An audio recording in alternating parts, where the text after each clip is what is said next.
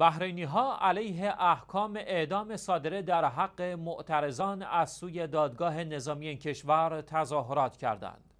مردم بحرین در ادامه این اعتراضات با برگزاری فعالیت های اعتراضآمیز در مناطق و شهرهای مختلف این کشور و در حالی که تصاویر محکومان به اعدام را در دست داشتند شعارهای اعتراضی سر داده و آزادی زندانیان و محکومان سیاسی و مذهبی را خواستار شدند